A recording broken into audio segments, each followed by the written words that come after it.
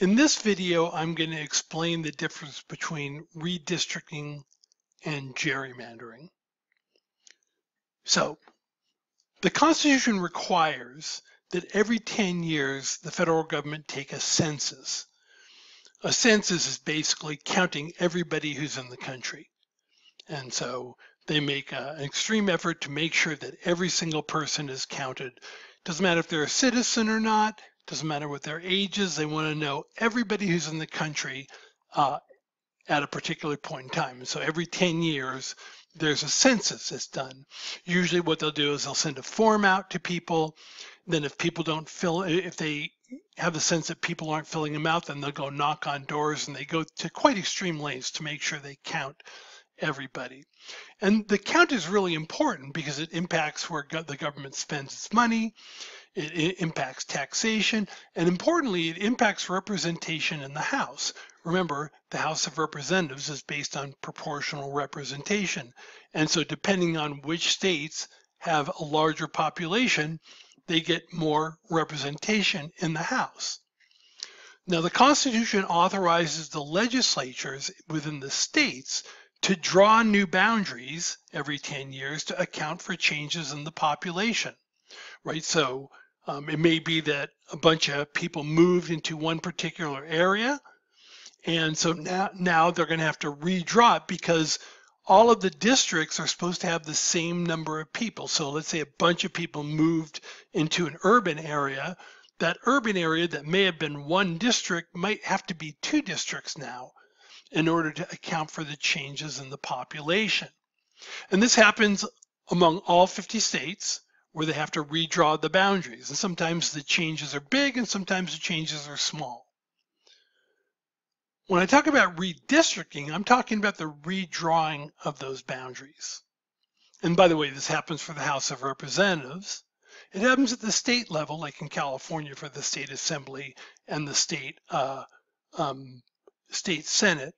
It doesn't happen for the United States Senate because the boundary is the state of California in the case of Californians. So the redistricting is the redrawing of those district boundaries after the census.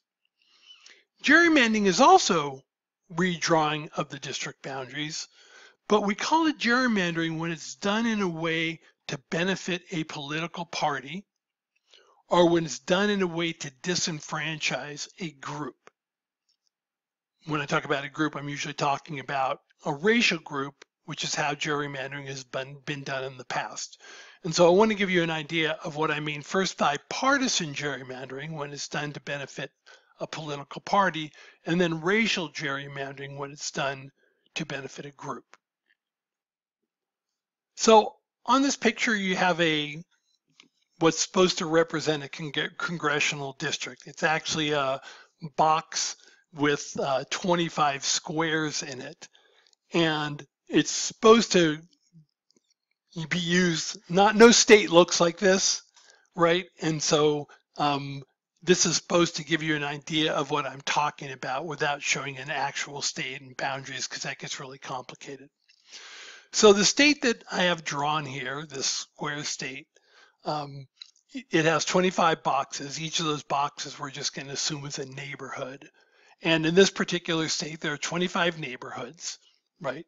60% of the neighborhoods in this state are predominantly Democratic, and then 40% are predominantly Republican. Now, just because I get to make up the story, um, it's going to be that this state has five congressional districts. So there's going to have to be a boundary drawn in such a way that e and each square is equal in population.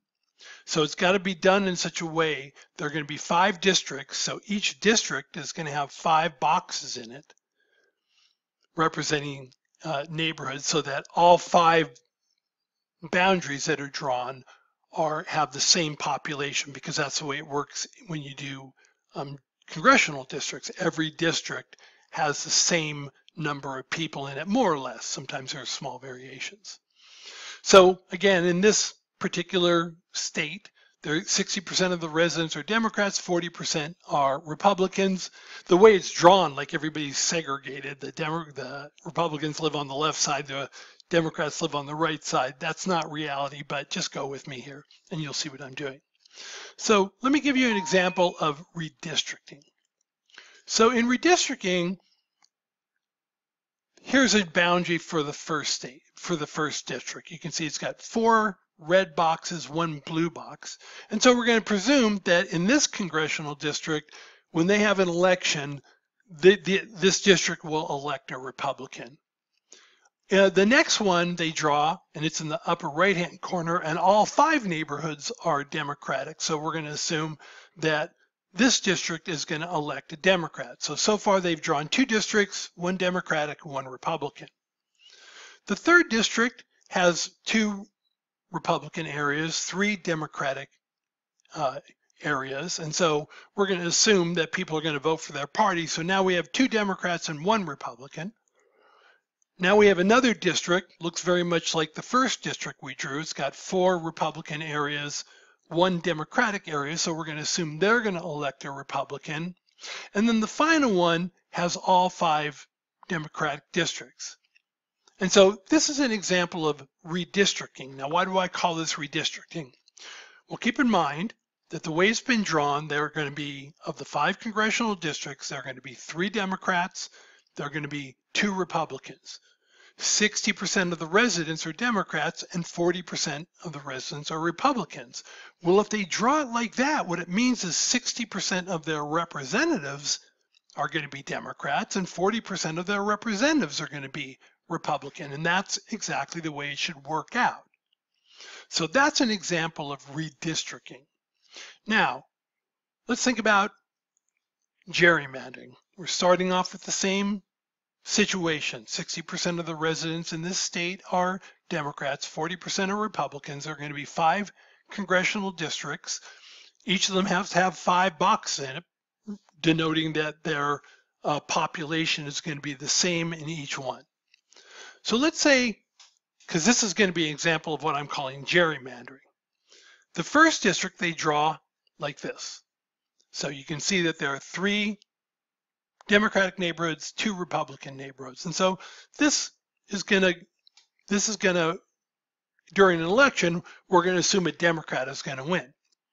Now, there's nothing wrong with that in this particular district because there are a majority of Democrats.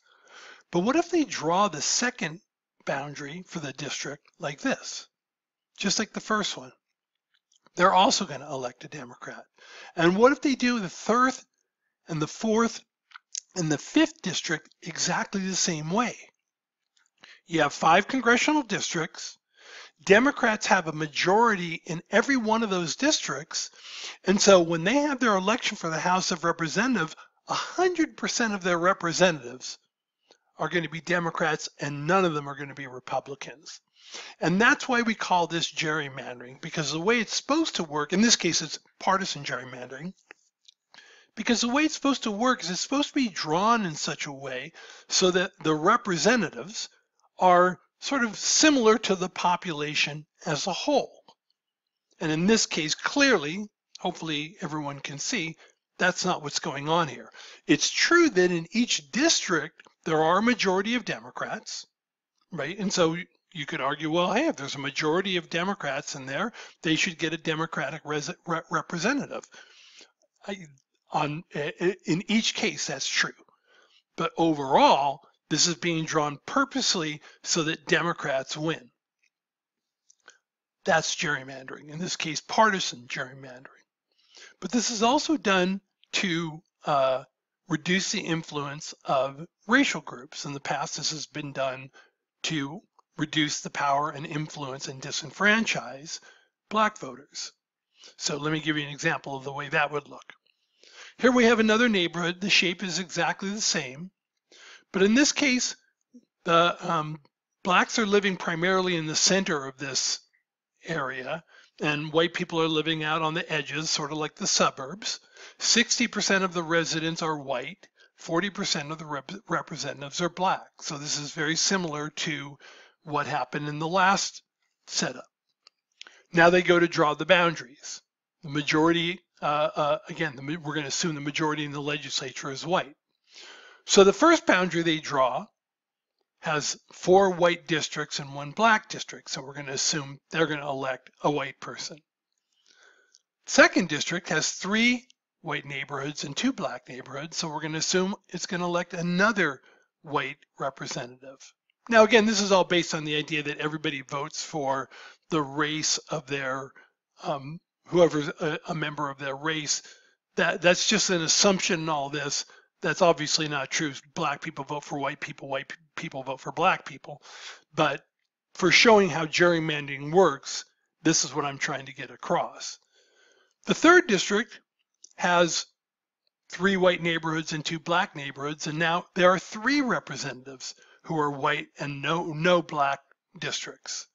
The fourth one is set up the exact same way. Three black, uh, three white neighborhoods, two black neighborhoods. So this is gonna this, this is gonna yield another white representative.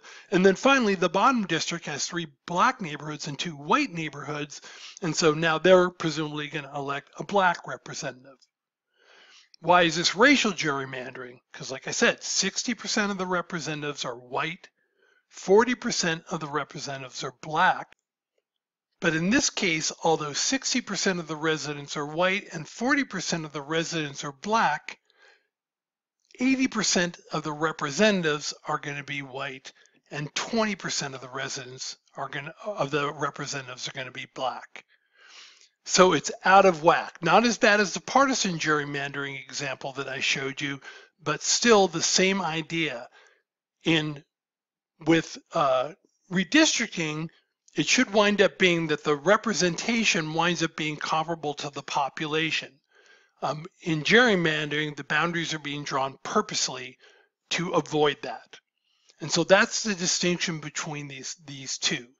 The other thing about this is that when they do either partisan gerrymandering or racial gerrymandering, it eliminates the sort of one person, one vote rule because it's purposely designed to diminish the um, political influence of a party or, or in political influence of a particular racial group.